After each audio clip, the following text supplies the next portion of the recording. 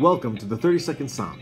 Hello, my friends. This is Simon, and today we're going to talk about the Ramos Pinto Duas Quintas. This is a dry red Portuguese wine. I know many of you have not had these wines yet, but they're absolutely outstanding. Now, the grapes in it are traditional Portuguese varieties, specifically and mostly Touriga Nacional and Touriga Franca, but as well as some other varietals are blended into it.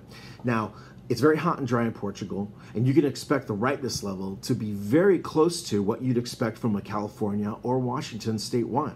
As a matter of fact, I would drink it the same way. I would open it, put it on the table for some great grilled meats, and then enjoy it afterwards with some rich cheeses or perhaps an awesome dark chocolate dessert. Enjoy.